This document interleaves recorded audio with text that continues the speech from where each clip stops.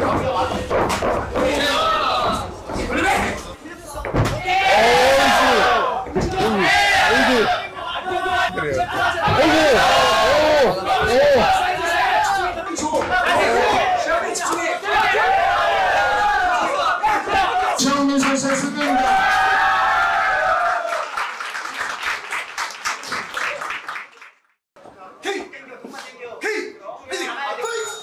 근데 움직임 진짜 좋네. 얘, 얘는 프로 선수 같은데 뭐.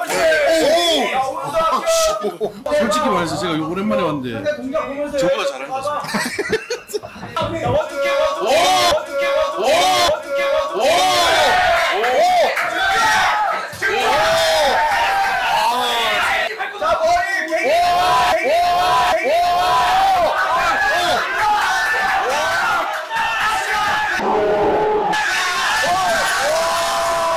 지영민 선수의 승리입니다.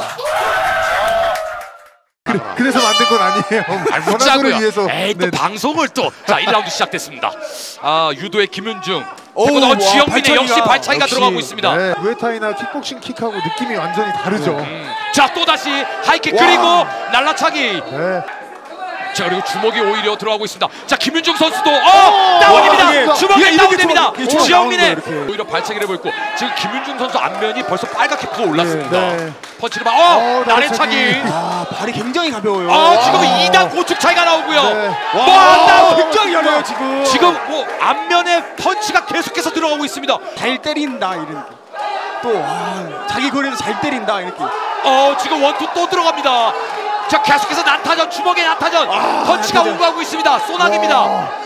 와, 예 고맙습니다. standing에 어우 flying knee kick. 전진에 들어가는 게 더 낫겠는데. 그렇죠, 걸어 아, 들어가야 된다. 갑니다, 갑니다, 갑니다. 그렇죠. 지금. 자. 들어가요. 오, 자 지금. 펀치. 펀치 어. 주고받습니다. 펀치 one-two를 주고받고 있는 양 선수 그리고 업어치기가 들어가다. 어 지금 knee kick이 안 없습니다 진짜로.